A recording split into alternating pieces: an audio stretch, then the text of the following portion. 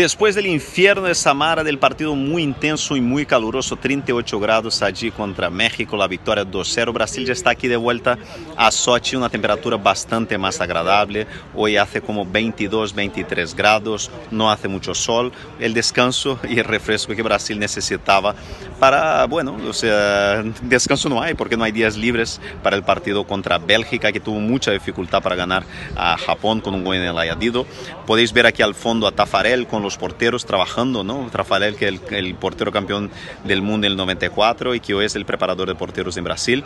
Y también están aquí en el campo los jugadores que no han jugado ayer contra México, podéis ver allí al fondo. Incluso están entre ellos Marcelo y Douglas Costa. La mayor duda realmente que tendrá ahora Tite es entre Marcelo y Felipe Luis. Felipe Luis ha entrado por Marcelo, que se lesionó eh, justo a los 10 minutos del, del partido contra Serbia y ha jugado muy bien.